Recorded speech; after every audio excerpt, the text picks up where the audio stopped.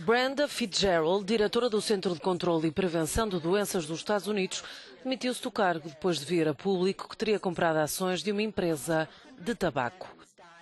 A denúncia, feita por um jornal, revela que a principal responsável da entidade de saúde teria adquirido milhares de dólares em ações numa empresa japonesa, empresa que vende quatro marcas de tabaco nos Estados Unidos.